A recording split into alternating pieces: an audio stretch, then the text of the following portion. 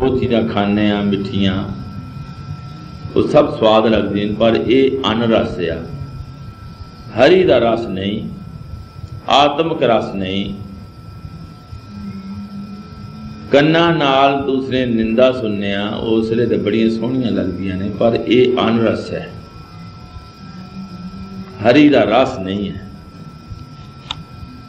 ਇਹ ਜੇਤਾ ਮੋਹ ਪ੍ਰੀਤ ਸਵਾਦ ਸਭਾ ਕਾਲਕ ਦਾਗਾ ਦਾਗ, ਇਹ ਦਾਗ ਆ, ਇਹ ਪਾਪ ਆ। ਹੇ ਰਸਨਾ, ਤੂੰ ਅਨਰਸ ਰਾਜ ਦੇ। ਤੂੰ ਪੈੜੇ ਸਵਾਦਾਂ 'ਚ ਲੱਗੀ ਰਹੀ। ਤੇਰੀ ਪਿਆਸ ਨਾ ਜਾਏ, ਉਹਨਾਂ ਨਾਲ ਤੇਰੀ ਪਿਆਸ ਨਹੀਂ ਜਾਣੀ। ਹਰੀ ਦੇ ਰਸ ਤੋਂ, ਹਰੀ ਦੇ ਸ਼ਬਦ ਜਿਹੜਾ ਉਚਾਰਨ ਤੋਂ ਇਲਾਵਾ ਜੋ ਵੀ ਤੂੰ ਖਾਨੀ ਪੀਨੀਆਂ ਸਵਾਦ ਲੈਣੀਆਂ, ਰਸ ਲੈਣੀਆਂ, ਉਹ ਅਨਰਸ ਨੇ। ਉਹਦੇ ਨਾਲ ਤੇਰੀ ਪਿਆਸ ਨਹੀਂ ਜਾਣੀ, ਪਿਆਸ ਵਧਣੀ ਆ, ਤ੍ਰਿਸ਼ਨਾ ਵਧਣੀ ਆ। ਪਿਆਸ ਨਾ ਜਾਏ ਔਰ ਤੈ ਕਿਤੈ ਜਿਚਰ ਹਰਸ ਪੱਲੇ ਨਾ ਪਾਏ। ਹੋਰ ਕਿਤਿਓਂ ਤੇਰੀ ਪਿਆਸ ਨਹੀਂ ਜਾਣੇ, ਤੇਰੀ ਤ੍ਰਿਸ਼ਨਾ ਨਹੀਂ ਬੁਝਣੀ। ਜਦੋਂ ਤੱਕ ਹਰੀ ਦਾ ਰਸ ਹਰੀ ਦਾ ਸ਼ਬਦ ਸ਼ਬਦ ਗੁਰੂ ਨੂੰ ਪੱਲੇ ਨਾ ਪਾਏ, ਹਿਰਦੇ ਵਿੱਚ ਨਾ ਵਸਾ ਕੇ ਤੂੰ ਜਪੇਂਗੀ। ਆਤਮ ਰਸ ਨਹੀਂ ਮਾਨੇਗੀ, ਉਦੋਂ ਤੱਕ ਤੇਰੀ ਪਿਆਸ ਨਹੀਂ ਲੱਗੀ ਹਰੀ ਦਾ ਸ਼ਬਦ ਸ਼ਬਦ ਗੁਰੂ ਨੂੰ। ਸੁਰਤ ਚੇਲਾ ਬਣਾ ਕੇ ਹਿਰਦੇ ਵਿੱਚ ਰਸਨਾ ਨਾ, ਰਸਨਾ ਤੂੰ ਨਾ ਜਪੇਂਗੀ, ਸਵਾਦ ਇਹ ਨਾ ਲਏਗੀ।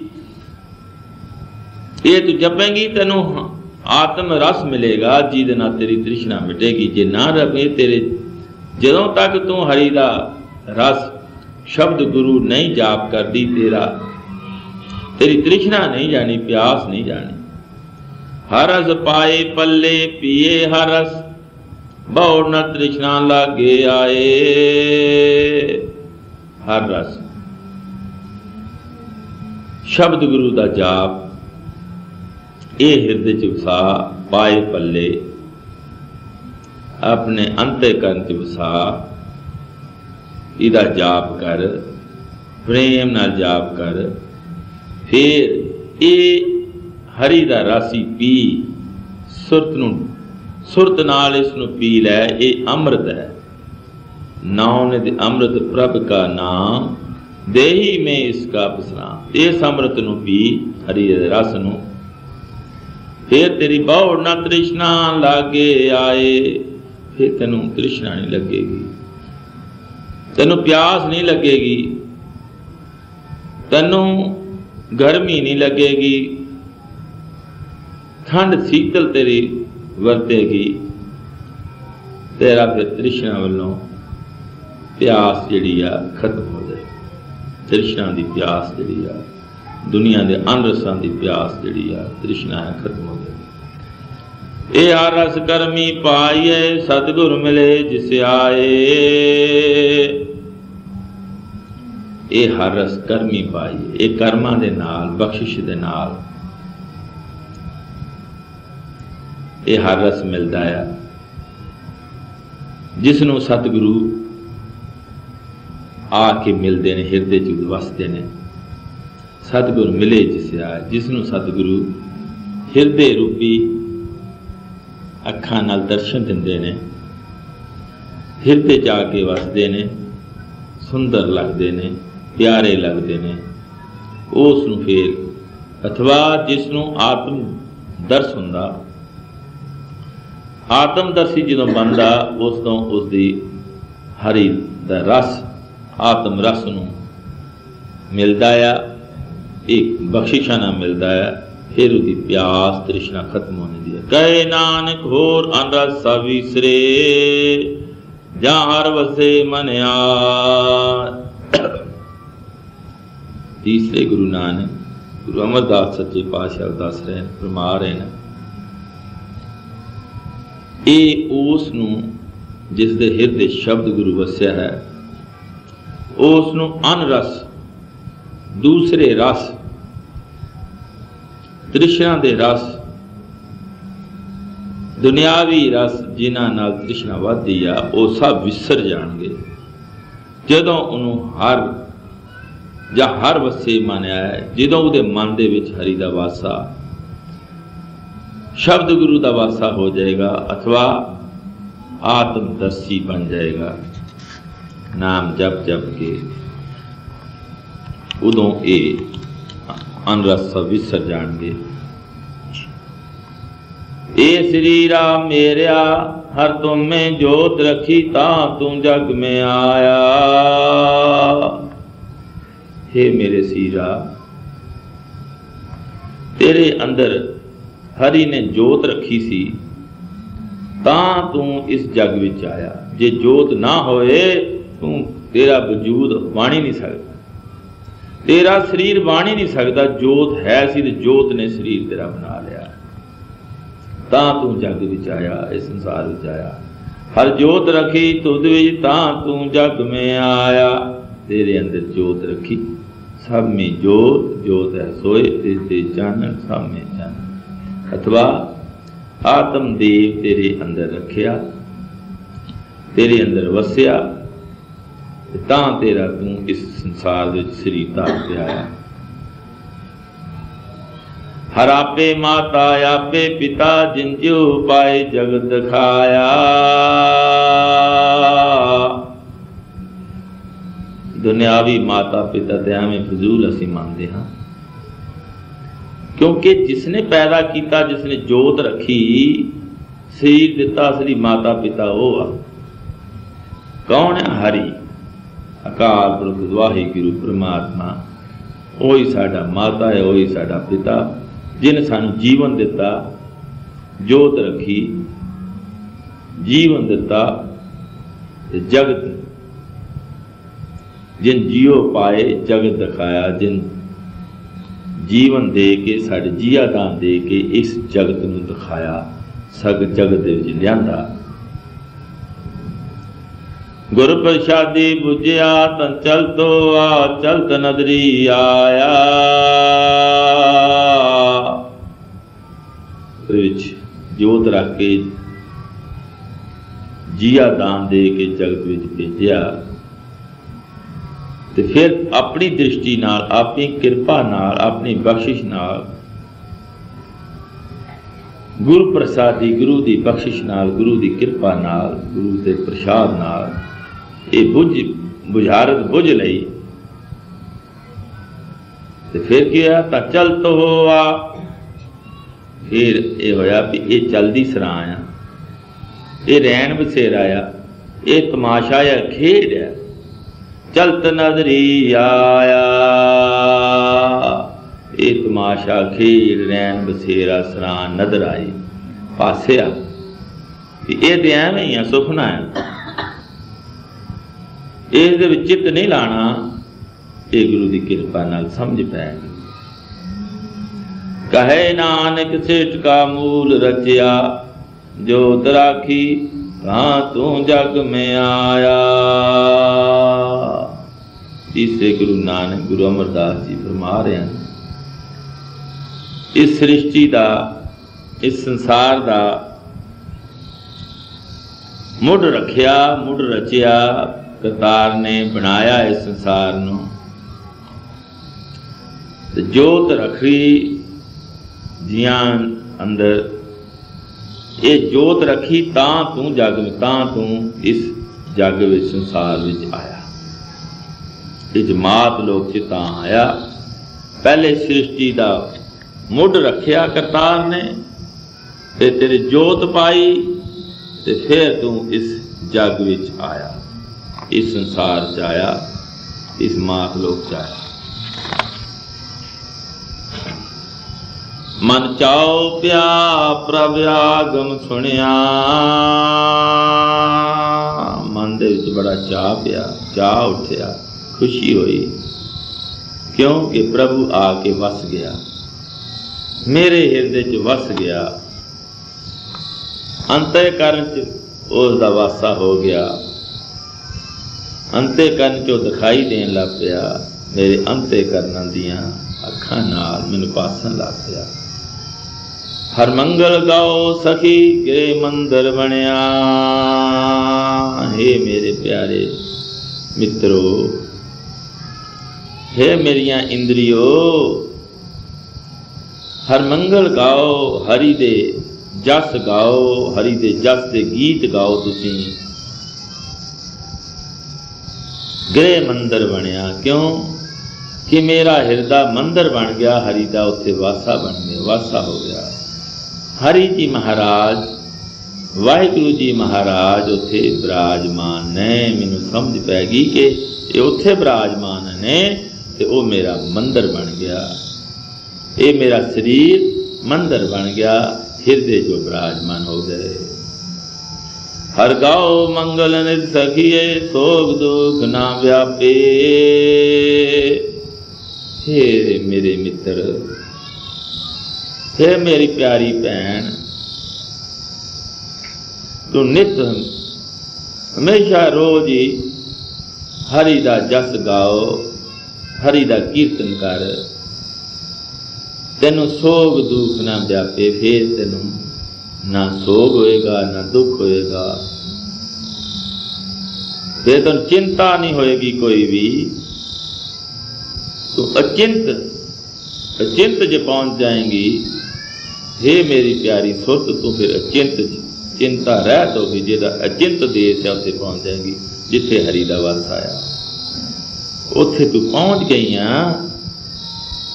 ਉਹ ਇਸ ਕਰਕੇ ਹਰੀ ਦਾ ਮੰਗਲ ਗਾ ਹਰੀ ਦਾ ਵਾਸਾ ਹੋ ਗਿਆ ਤੇਰੇ ਅੰਦਰ। ਅਨਤ ਬਾਣੀ ਗੁਰ ਸ਼ਬਦ ਜਾਣਿਆ ਨਾਮ ਆ ਰਸ ਭੋਗੋ। ਅਨਹਤ ਬਾਣੀ। ਹੁਣ ਮੇਰੇ ਅੰਦਰ ਜਿਹਦਾ ਹੱਦ ਕੋਈ ਨਹੀਂ, ਉਹ ਬਾਣੀ ਵੱਜ ਰਹੀ ਆ, ਅਲਾਹੀ ਬਾਣੀ ਗੂੰਜ ਰਹੀ ਆ। ਇਹ ਕਿਥੋਂ ਕਿੱਥੋਂ ਸਮਝ ਪਈ? ਇਹ ਗੁਰੂ ਦੇ ਸ਼ਬਦ ਨਾਲ ਜਾਣੀ। ਗੁਰੂ ਦੇ ਸ਼ਬਦ ਨਾਲ ਬੁੱਝੀ। ਗੁਰੂ ਦੇ ਸਮਝ ਨਾਲ ਸਮਝ ਪਈ। ਹਰ ਨਾਮ ਆ ਰਸ ਭੋਗੋ। ਹਰੀ ਦਾ ਨਾਮ ਸ਼ਬਦ ਗੁਰੂ।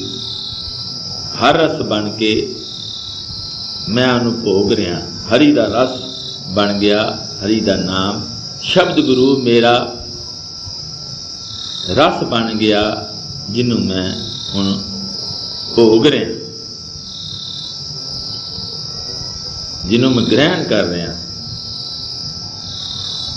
ਕਹੇ ਨਾਨਕ ਪ੍ਰਭਾ ਮਿਲਿਆ ਕਰਨ ਕਾਰਨ ਜੋਗੋ। ਗੁਰੂ ਨਾਨਕ ਤੀਸਰੇ ਗੁਰੂ ਨਾਨਕ ਗੁਰੂ ਅਮਰਦਾਸ ਜੀ ਫਰਮਾ ਰਹੇ ਨੇ, ਪ੍ਰਭੂ, ਆਪ ਆ ਕੇ ਮੇਰੇ ਹਿਰਦੇ 'ਚ ਮਿਲਿਆ। ਮੇਰੇ ਹਿਰਦੇ 'ਚ ਉਸਨੇ ਵਾਸਾ ਕਰ ਲਿਆ। ਮੇਰਾ ਸਰੀਰ ਮੰਦਰ ਬਣ ਗਿਆ। ਹਰਿਆ ਅਨੰਦ ਬਾਣੀ ਵੱਜ ਰਹੀ ਆ। ਸ਼ਬਦ ਦਾ, ਸ਼ਬਦ ਗੁਰੂ ਦਾ ਜ਼ਹੂਰ ਹੈ ਮੇਰੀ ਅਵਸਥਾ ਅਡੋਲਤਾ ਦੀ ਹੋ ਗਈ ਹੈ ਸਹਿਜ ਅਵਸਥਾ ਹੋ ਗਈ ਹੈ ਕਰਨ ਕਾਰਨ ਜੋਗੋ ਕਰਨ ਕਾਰਨ ਜੋਗੋ ਮਹਾਰਾਜ ਇਹ ਸਮਾਂ ਜੋ ਮਹਾ ਆਨੰਦ ਤੇ ਖੁਸ਼ੀਆਂ ਦੇ ਗੀਤ ਗਾਉਣ ਦਾ ਹੈ ਉਹ ਪ੍ਰਭੂ ਪ੍ਰਭੂ ਨੇ ਇੱਕ ਕਰਨ ਕਾਰਨ ਪ੍ਰਭੂ ਮੈਨੂੰ ਆਪ ਆਪਣੀ ਆ ਮਿਲਿਆ ਹੈ, ਆਪਣੀ ਕਿਰਪਾ ਦ੍ਰਿਸ਼ਟੀ ਨਾਲ। ਜਿਹੜਾ ਕਰਨ ਜੋਗਾ ਹੈ, ਕਾਰਨ ਕਰਨ ਜੋਗਾ ਹੈ ਪ੍ਰਭੂ। ਕਰਤਾ ਕਰੀਮ ਜਿਹੜਾ ਆ ਰਾਜ਼ਕ ਰਹੀਮ ਹੈ, ਰਚਨਹਾਰ ਹੈ, ਇਹ ਮੈਨੂੰ ਆਪ ਆ ਕੇ ਮੈਨੂੰ ਮਿਲਿਆ, ਮੇਰੇ ਹਿਰਦੇ 'ਚ ਵਸਿਆ। ਤੇ ਮੇਰੀ ਹੁਣ ਤ੍ਰਿਸ਼ਨਾ ਹਟ ਗਈ। ਮੈਂ ਹੁਣ ਸਹਿਜ ਅਵਸਥਾ 'ਚ ਪਹੁੰਚ ਗਿਆ। ਸਰੀਰ ਮੇਰਾ ਮੰਦਰ ਬਣ ਗਿਆ, ਉੱਥੇ ਹਰੀ ਦਾ ਜਸ ਗਾਇਆ ਜਾ ਰਿਹਾ। ਇਹ ਸਰੀਰਾ ਮੇਰਿਆ ਜਗ ਮੇ ਆਏ ਕੇ, ਕਿਆ ਤੁਧ ਕਰਮ ਕਮਾਇਆ? ਇਹ ਮੇਰੇ ਸਰੀਰਾ ਇਸ ਸੰਸਾਰ ਜਾ ਕੇ, ਮਾਤ ਲੋਕ ਜਾ ਕੇ ਕੀ ਕਰਮ ਤੂੰ ਕਮਾਇਆ? ਕੋਈ ਕਰਮ ਕੀਤਾ ਆ, ਕੋਈ ਮਿਹਨਤ ਕੀਤੀ ਆ, ਕੀ ਕੰਮ ਕੀਤਾ ਤੂੰ? ਕੀ ਕਰਮ ਕਮਾਇਆ ਤੁਧ ਸਰੀਰਾ ਜਾਂ ਤੂੰ ਜਗ ਮੈਂ ਆਇਆ। ਇਸ ਜਗ ਵਿੱਚ ਜਾਂ ਤੂੰ ਜਦੋਂ ਤੂੰ ਆਇਆ ਉਸ ਤੋਂ ਕੀ ਕੰਮ ਕੀਤਾ ਤੂੰ ਮੇਰੇ ਸਰੀਰਾ ਦੱਸ ਤੇ ਸਾਈ ਮੈਨੂੰ। ਕੀ ਕਰਦਾ ਰਿਹਾ? ਐਵੇਂ ਹੀ ਭੂਤਨਿਆਂ ਵਾਂਗੂ ਫਿਰਦਾ ਰਿਹਾ। ਤੂੰ ਹਰੀ ਵੱਲ ਧਿਆਨ ਲਾਇਆ ਹੀ ਉਸ ਵੱਲ ਲਿਵ ਲਾਈ ਹੈ ਜਿਨ ਹਰ ਤੇਰਾ ਰਚਨ ਰਚਿਆ ਸੋ ਹਰਨ ਮਨ ਨਾ ਵਸਾਇਆ।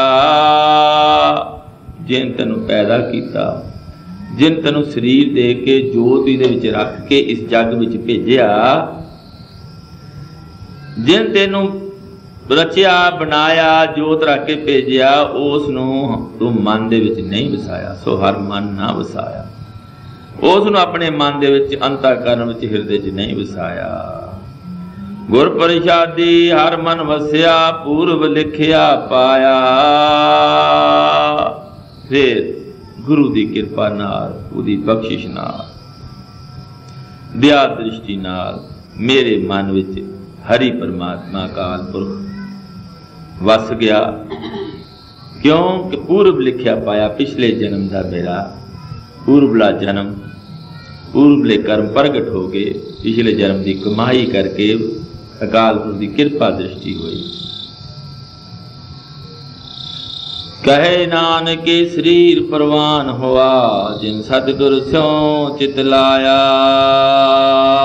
ਤੀਸਰੇ ਗੁਰੂ ਨਾਨਕ ਗੁਰੂ ਅਮਰਦਾਸ ਜੀ ਫਰਮਾ ਰਹੇ ਨੇ, ਤਾਂ ਇਹ ਸਰੀਰ ਪ੍ਰਵਾਨ ਹੋਇਆ ਮੇਰੇ ਪ੍ਰਭੂ ਨੂੰ।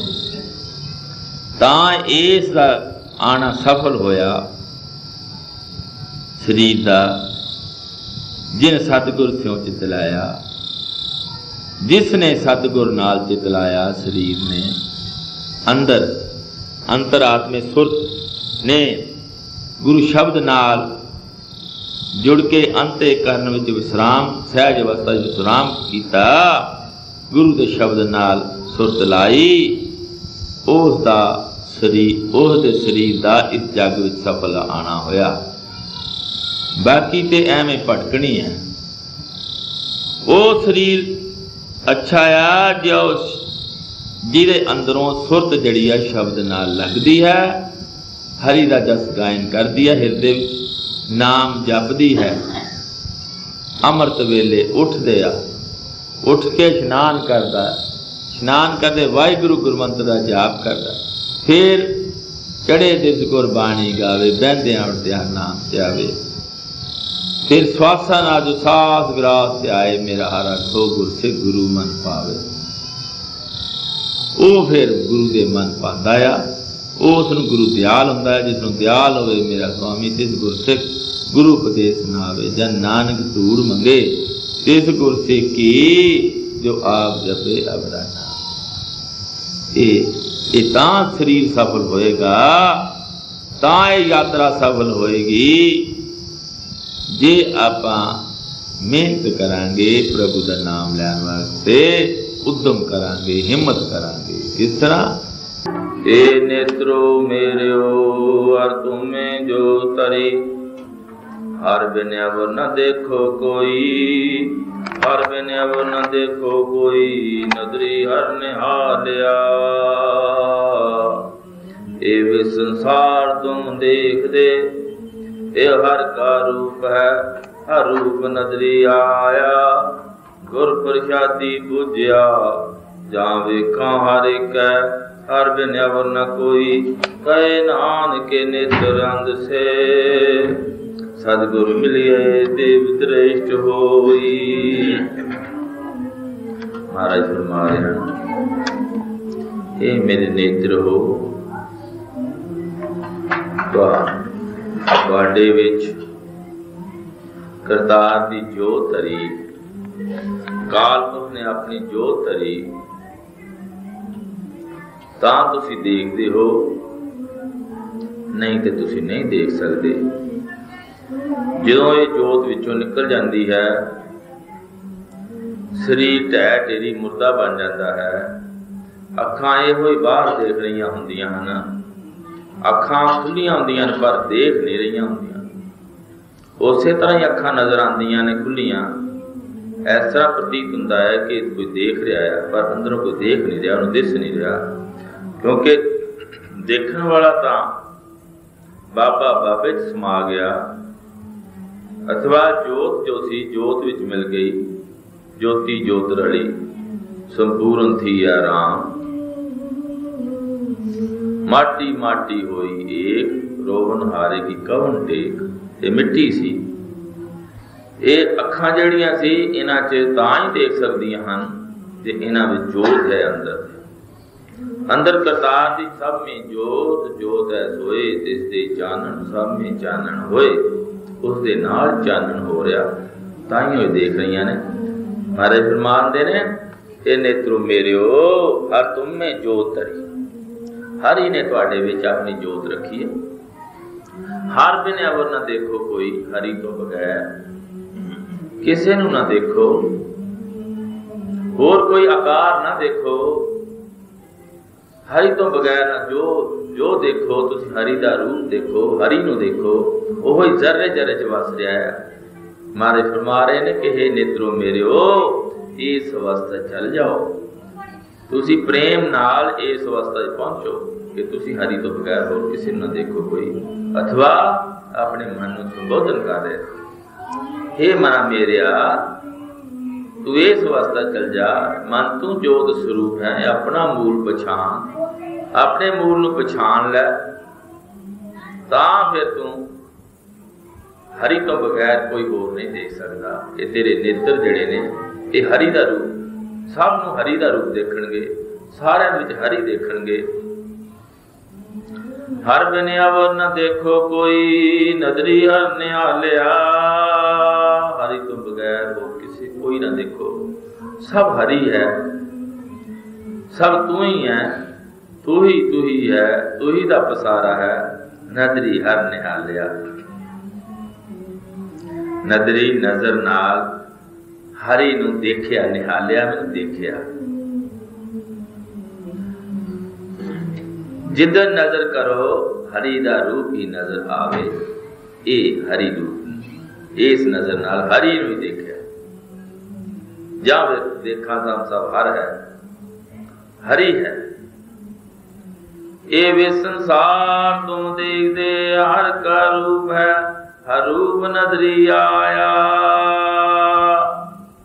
ਇਹ ਐਨਾ ਤੁਹਾਡੀ ਅਵਸਥਾ ਉੱਚੀ ਹੋ ਗਈ ਹੈ ਕਿ ਇਹ ਵੀ ਸੰਸਾਰ, ਇਹ ਵਿਸ ਸੰਸਾਰ ਜਿਹੜਾ ਪੈਰਾ ਸੰਸਾਰ ਤੁਸੀਂ ਕਹਿੰਦੇ ਹੋ, ਮੰਦਾ ਸੰਸਾਰ, ਬੁਰਾ ਸੰਸਾਰ ਲੱਗ ਰਿਹਾ, ਇਹ ਫਿਰ ਹਰੀ ਦਾ ਰੂਪ ਨਜ਼ਰ ਆਉਂਦਾ ਹੈ। ਹਰ ਰੂਪ ਨਜ਼ਰੀ ਆਇਆ। ਸਾਰੇ ਜੋ ਹਰੀ ਵਸਿਆ ਨਜ਼ਰ ਆਂਦਾ ਸਭੇ ਘਟ ਰਾਮ ਬੋਲੇ। ਰਾਮਾ ਬੋਲੇ, ਰਾਮ ਬਿਨਾ ਕੋ ਬੋਲੇ। ਜੋ ਦੀਸੇ ਸੋ ਤੇਰਾ ਰੂਪ ਸਾਰੇ ਜੋ ਹੀ ਪ੍ਰਕਾਸ਼ ਹੈ। ਘਟ ਘਟ ਮੇ ਹਰ ਜੀਵ ਬਤੇ ਵਸੇ, ਸੰਤਨ ਕਿਉ ਪੁਕਾਰ? ਸਾਰੇ ਜੋ ਹੀ ਵਸ ਰਿਹਾ ਹੈ, ਹਰ ਰੂਪ ਨਜ਼ਰੀ ਆਇਆ। ਇਹ ਫਿਰ ਹਰੀ ਦਾ ਰੂਪ ਹੀ ਨਜ਼ਰ ਆਇਆ, ਜਿਸ ਨਾਲ ਭਾਈ ਕਨਈਏ ਨੂੰ। ਹਰ ਇੱਕ ਦੇ ਵਿੱਚ ਚਾਹੇ ਉਸ ਸਿੱਖ ਜੋਦੇ ਸਨ, ਚਾਹੇ ਉਹ ਮੁਸਲਮਾਨ ਜੋਦੇ ਸਨ, ਮੁਗਲ ਜੋਦੇ ਸਨ, ਉਹਨਾਂ ਦੇ ਵਿੱਚ ਉਹਨਾਂ ਨੂੰ ਉਹਨੂੰ ਇੱਕ ਹੀ ਸਰੂਪ ਨਜ਼ਰ ਆਇਆ ਹਰੀ ਦਾ ਰੂਪ, ਗੁਰੂ ਗੋਬਿੰਦ ਸਿੰਘ ਜੀ ਮਹਾਰਾਜ ਹਰੀ ਦਾ ਰੂਪ ਨਜ਼ਰ ਆਉਂਦੇ ਰਹੇ ਔਰ ਹਰ ਇੱਕ ਨੂੰ ਉਹ ਪਾਣੀ ਪਿਲਾਉਂਦਾ ਰਿਹਾ। ਗੁਰ ਪ੍ਰਸਾਦੇ ਬੁਝਿਆ ਜਾਂ ਵੇਖਾਂ ਹਰ ਇੱਕ ਹੈ ਹਰ ਬਿਨ ਅਵਰ ਨ ਕੋਈ। ਗੁਰੂ ਦੀ ਕਿਰਪਾ ਨਾਲ ਇਹ ਬੁਝਾਰਤ ਬੁਝੀ, ਇਹ ਮੈਨੂੰ ਗਿਆਨ ਹੋਇਆ ਕਿ ਜਾਂ ਵੇਖਾਂ ਹਰ ਇੱਕ। ਹੈ ਜਿੱਥੇ ਮੈਂ ਦੇਖਣਾ ਹੈ, ਹਰੀ ਇੱਕੋ ਹਰੀ ਨਜ਼ਰ ਆਂਦਾ ਉਹੋ ਹੀ ਨਜ਼ਰ ਆਂਦਾ ਦੂਜਾ ਕੁਝ ਨਹੀਂ ਆ, ਇੱਕੋ ਦਾ ਪਸਾਰਾ ਨਜ਼ਰ ਆਂਦਾ ਹਰ ਬਿਨ ਅਵਰ ਨਾ ਕੋਈ, ਹਰੀ ਤੋਂ ਬਗੈਰ ਹੋਰ ਕੋਈ ਨਹੀਂ। ਉਹੋ ਹੀ ਹੈ ਇਹ ਸਾਹਮਣੇ ਜੋ ਨਜ਼ਰ ਆ ਰਿਹਾ, ਇਹ ਹਰੀ ਦਾ ਰੂਪ ਹੈ ਹਰੀ ਨੇ ਬਣਾਇਆ, ਹਰੀ ਵਿੱਚ ਵਸ ਰਿਹਾ। ਹਰੀ ਦੀ ਰਚਨਾ ਹੈ। ਗਏ ਨਾਨਕੇ ਨਿਤਰੰਦ ਸੇ ਸਤਗੁਰ ਮਿਲਿਏ ਦਿਵਦਰੇ ਢੋਈ ਤੀਸਰੇ ਗੁਰੂ ਨਾਨਕ ਗੁਰੂ ਅਮਰਦਾਸ ਜੀ ਮਹਾਰਾਜ ਫਰਮਾ ਰਹੇ ਨੇ ਇਹ ਨੇਤਰ ਅੰਸ਼ ਇਹ ਨੈਣ ਅੰਨੇ ਸਨ ਅੰਨੇ ਕਿਉਂ ਸਨ ਗਿਆਨਹੀਨ ਸਨ ਗਿਆਨ ਤੋਂ ਬਗੈਰ ਗਿਆਨ ਤੋਂ ਹੀਨ ਹੋਣ ਕਰਕੇ ਗਿਆਨ ਤੋਂ ਬਗੈਰ ਇਹ ਨੇਤਰ ਅੰਨੇ ਸਨ ਸਤਿਗੁਰ ਮਿਲਿਏ ਦਿਵ ਦ੍ਰਿਸ਼ਟ ਹੋਈ। ਇਹ ਸਾਡੇ ਨੇਤਰ ਜਿਹੜੇ ਨੇ, ਦੇਖ ਵੀ ਰਹੇ ਹੋਣ। ਅਗਰ ਇਹਨਾਂ 'ਚ ਗਿਆਨ ਨਹੀਂ ਹੈ, ਅੰਦਰ ਇਹਨਾਂ 'ਚ ਮਤਲਬ ਅੰਦਰ ਗਿਆਨ ਨਹੀਂ ਹੈ। ਅਗਰ ਮਨ ਗਿਆਨ ਰੂਪੀ ਆਤਮਾ 'ਚ ਨਹੀਂ ਸਮਾ ਗਿਆ, ਤੇ ਫਿਰ ਇਹ ਨੇਤਰ ਜਿਹੜੇ ਅੰਨੇ ਨੇ। ਇਹ ਸਾਹਮਣੇ ਦੇਖਦੇ ਹੈ ਨੇ। ਪਰ ਇਹ ਅੰਨੇ ਇਸ ਕਰਕੇ ਨੇ ਮਾਇਆ ਧਾਰੀ ਅਤ ਅੰਨਾ ਗੋੜਾ ਅਤੀ ਦਾ ਅੰਨਾ ਹੈ ਅੱਖਾਂ ਹੁੰਦੀਆਂ ਨੇ, ਪਰ ਅੰਨਾ ਹੈ। ਕਿਉਂ? ਸ਼ਬਦ ਨਾ ਸੁਨੇ ਬਹੁ ਰੋਲ ਕੋ ਜੋੜਾ ਕਿਉਂਕਿ ਉਹਨੂੰ ਦਿਸਦਾ ਨਹੀਂ ਹੈ ਉਸ ਨੂੰ ਇਹ ਵੀ ਸੰਸਾਰ ਹੀ ਦਿਸਦਾ ਆ, ਇਹ ਹਰੀ ਦਾ ਰੂਪ ਨਹੀਂ ਦਿਸਦਾ। ਉਸ ਨੂੰ ਦੂਸਰਾ ਦੂਸਰਾ ਇਨਸਾਨ ਦਿਸਦਾ ਆ, ਉਹਦੇ ਚ ਹਰੀ ਰੂਪ ਨਹੀਂ ਦਿਸਦਾ, ਉਹਦੇ ਚ ਹਰੀ ਦੀ ਜੋਤ ਨਹੀਂ ਦਿਸਦੀ। ਉਹ ਪਸ਼ੂ ਬਿਰਤੀ ਹੋ ਗਿਆ ਹੈ। ਪਸ਼ੂ ਬਿਰਤੀ ਹੋਣ ਕਰਕੇ ਗਿਆਨ ਵੱਲੋਂ ਉਹਦੇ ਨੇਤਰ ਅੰਨੇ ਹੋ ਗਏ। ਅਤੀ ਅੰਨਾ ਅਤੇ ਬੋਲਾ। ਸਤਿਗੁਰ ਮਿਲਿਏ, ਦੇਵ ਦੇ ਢੋਈ। ਸਤਿਗੁਰੂ ਨੂੰ ਮਿਲ ਕੇ ਇਹ ਦ੍ਰਿਸ਼ਟੀ ਮੇਰੀ ਦਿਵ ਆਤਮ ਦ੍ਰਿਸ਼ਟੀ ਹੋ ਗਈ। ਗਿਆਨ ਦੀ ਰੋਸ਼ਨੀ ਇਹਨਾਂ ਨੇਤਰਾਂ 'ਚ ਪੈ ਗਈ ਤੇ ਉਹ ਗਿਆਨ ਦੀ ਰੋਸ਼ਨੀ ਨਾਲ ਮੈਂ ਹੁਣ ਆਪਣੇ ਪਿਆਰੇ ਸਤਿਗੁਰੂ ਨੂੰ ਹਰ ਜਗ੍ਹਾ ਦੇਖ ਰਿਹਾ ਹਾਂ। ਹਰ ਜ਼ਰਰੇ ਜ਼ਰਰੇ 'ਚ ਦੇਖ ਰਿਹਾ ਹਰ ਮਨੁੱਖ ਦੇਖ ਰਿਹਾ ਹਰ ਜੀ ਜੰਤ ਦੇਖ ਰਿਹਾ ਬੁੱਲੇ ਸ਼ਾਹ ਬਹੁਤ ਵੱਡਾ ਫਕੀਰ ਹੋਇਆ ਹੈ। ਪੰਜਾਬ ਦਾ ਉਸਨੇ ਕਿਹਾ ਬੁੱਲਿਆ ਤੈਥੋਂ ਵੱਖ ਨਹੀਂ। ਵਾਹ ਤੇਥੋਂ ਰੱਬ ਵੱਖ ਨਹੀਂ ਬੁੱਲਿਆ ਤੇਥੋਂ ਵੱਖ ਨਹੀਂ, ਪਰ ਵੇਖਣ ਵਾਲੀ ਅੱਖ ਨਹੀਂ। ਤੇਰੇ ਨਾਲ ਹੀ ਆ। ਪਰ ਤੇਰੀ, ਉਹਨੂੰ ਦੇਖਣ ਵਾਲੀ ਤੇਰੀ ਅੱਖ ਨਹੀਂ। ਉਹ ਅੱਖ ਬਣਾ। ਵੱਖ ਕਿਸ ਤਰ੍ਹਾਂ ਬਣਦੀ ਆ? ਸ਼ਬਦ ਗੁਰੂ ਨੂੰ ਅੰਦਰ ਵਸਾ ਕੇ ਉਹਦਾ ਜਾਪ ਸਿਮਰਨ ਕਰਕੇ ਫਿਰ ਉਹ ਅੱਖ ਬਣ ਜਾਂਦੀ ਆ। ਉਹ ਹਰੀ, ਹਰ ਜ਼ਰਰੇ ਦੇ ਨਜ਼ਰ ਆਉਂਦਾ। ਇਹ ਸਰਵਣੋ ਮੇਰਿਓ, ਸਾਚੇ ਸੁਣਨੇ ਨੂੰ ਪਠਾਏ। ਇਹ ਮੇਰੇ ਸਰਵਣੋ, ਤੁਹਾਨੂੰ ਸੱਚ ਸੁਣਨ ਵਾਸਤੇ ਬਣਾਏ ਸਨ। ਸੱਚ ਸੁਣਨ ਵਾਸਤੇ ਬਣਾਏ ਹਨ। ਇਹ ਸੱਚ ਸੁਣਨ ਵਾਸਤੇ ਬਣਾਏ ਹਨ। ਸਾਚੇ ਸੁਣਨੇ ਨੂੰ ਪਠਾਏ ਸਰੀਰ ਲਾਏ ਸੁਣੋ ਸਤ ਬਾਣੀ ਸੱਚ ਸੁਣਨ ਵਾਸਤੇ ਤੁਹਾਨੂੰ ਬਣਾਏ ਹਨ। ਇਹ ਸਰੀਰ ਨਾਲ ਲਾਏ ਹਨ। ਹੁਣ ਤੁਸੀਂ ਸਤ ਦੀ ਬਾਣੀ ਸੁਣੋ। ਸੱਚ ਦੀ ਬਾਣੀ ਸੁਣੋ। ਸਤ ਦੀ ਬਾਣੀ ਕੀ ਆ? ਸ਼ਬਦ ਗੁਰੂ। ਇਹ ਤੁਰਕੀ ਬਾਣੀ ਆਈ ਜਿਨ ਸਗਲੀ ਚਿੰਤਨ ਆਈ ਵਾਹ ਵਾਹ ਬਾਣੀ ਨਿਰੰਕਾਰ ਹੈ। ਬਾਣੀ ਗੁਰੂ ਗੁਰੂ ਹੈ ਬਾਣੀ। ਇਹ ਸਤ ਦੀ ਬਾਣੀ ਸੁਣੋ। ਸਾਚੇ ਸੁਣਨੇ ਨੂੰ ਬਿਠਾਏ, ਸੱਚ ਹੈ ਸੱਚ ਹੈ ਅਕਾਲ ਪੁਰਖ, ਵਾਹਿਗੁਰੂ ਪਰਮਾਤਮਾ। ਉਸ ਨੂੰ ਸੁਣਨ ਵਾਸਤੇ ਤੁਹਾਨੂੰ ਬਣਾਏ ਸਨ। ਇਹ ਸੱਚ ਦਾ ਹੀ ਸਾਰਾ ਪਸਾਰ ਹੈ, ਸਾਚੇ ਤੇ ਪਵਨਾ ਪਿਆ, ਪਵਨੇ ਤੇ ਜਲ ਜਲ ਤੇ ਤ੍ਰਿਪਮ ਉਪਜਿਆ। ਇਹ ਸਾਰਾ ਉਸੇ ਦਾ ਹੀ ਪਸਾਰ ਹੈ। ਜਿਤ ਸੁਣੀ ਮਨ ਤਨ ਹਰਿਆ, ਹੋਆ ਰਸਨਾ ਰਸ ਮਾਨੀ। ਜਿਤ ਸੁਣੀ, ਇਹ ਸਾਚੀ ਬਾਣੀ। ਸਤਿਗੁਰ ਦੀ ਬਾਣੀ। ਗੁਰੂ ਬਾਣੀ। ਇਹ ਜਿੱਤ ਸੁਣੀ, ਜਿੱਥੇ ਸੁਣੀ, ਜਦੋਂ ਸੁਣੀ, ਜਿੱਥੇ ਹਿਰਦੇ 'ਚ ਵਸੀ, ਮਨ ਤਾਂ ਹਰਿਆ ਹੋਇਆ। ਮਨ ਵੀ ਹਰਿਆ ਹੋ ਗਿਆ, ਮਨ ਖੇੜਿਆ ਹਰਿਆ ਬਾਗ, ਤਨ ਵੀ ਹਰਿਆ ਹੋਇਆ। ਮਹਾਰਾਜ ਕਹਿੰਦੇ ਨੇ ਫਰਮਾਉਂਦੇ ਨੇ, ਕਰ ਇਸ਼ਨਾਨ ਸਿਮਰ ਪ੍ਰਭ ਆਪਣਾ ਮਨ ਤਨ ਮਨ ਤਨ ਕਰ ਇਸ਼ਨਾਨ ਸਿਮਰ ਪ੍ਰਭ ਆਪਣਾ ਮਨ ਤਨ ਭੈ ਰੋਗਾ ਮਨ ਵੀ ਰੋ, ਤਨ ਵੀ ਰੋ ਹੋ ਗਿਆ। ਮਨ ਤਨ ਹਰਿਆ ਹੋਇਆ, ਜਦੋਂ ਉਸ ਪ੍ਰਭੂ ਨੂੰ ਸਿਮਰਿਆ ਉਸ ਦੀ ਬਾਣੀ ਅੰਦਰ ਵਸਾਈ। ਇਹ ਬਾਣੀ ਗੁਰੂ ਹੈ ਇੱਕ ਇੱਕ ਸ਼ਬਦ ਬਾਣੀ ਦਾ ਗੁਰੂ ਹੈ। ਰਸਨਾ ਰਸ ਸਮਾਨੀ, ਇਹ ਸੱਚੀ ਬਾਣੀ। ਇਹ ਸੱਚੀ ਬਾਣੀ ਵਿੱਚ ਰਸਨਾ, ਰਸ ਸਮਾਨੀ, ਇਹ ਮੇਰੀ ਰਸਨਾ ਹੁਣ ਸੱਚੀ ਬਾਣੀ ਸਮਾ ਗਈ ਅਥਵਾ ਆਤਮਕ ਰਸ ਵਿੱਚ ਮਸਤ ਹੋ ਗਈ ਹੈ, ਇਹ ਰਸਨਾ ਮੇਰੀ ਹੁਣ। ਆਤਮ ਰਸ ਵਿੱਚ ਲੀਨ ਹੋ ਗਈ ਹੈ, ਰਸ ਸਮਾਨੀ। ਕਿਹੜੇ ਰਸ ਵਿੱਚ? ਆਤਮਕ ਰਸ ਵਿੱਚ। ਆਤਮ ਰਸ ਸੱਚੀ ਬਾਣੀ ਤੋਂ ਉਪਜਦਾ ਹੈ। ਸੱਚੀ ਬਾਣੀ ਆਤਮ ਰਸ ਹੈ। ਸੱਚ ਅਲਖ ਬਣਾਣੀ ਤਾਂ ਕੀ ਗਤ ਮਤ ਕਹੀ ਨਾ ਜਾਏ। ਤਾਂ ਸੱਚ ਲਖ ਬਣਾਣੀ ਤਾਂ ਕੀ ਗਤ ਕਹੀ ਨਾ ਜਾਏ। ਸੱਚ ਸੱਚ ਹੈ ਵਾਹਿਗੁਰੂ।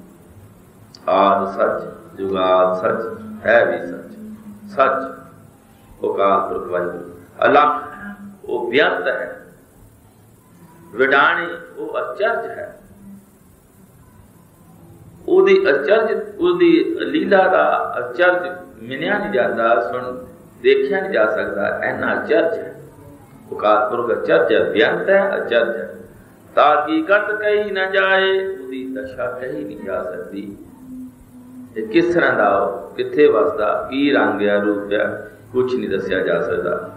ਕਹੇ ਨਾਨਕ ਅਮਰਤ ਨਾਮ ਸੁਣੋ ਪਵਿੱਤਰ ਹੋਵੋ ਸਾਚੇ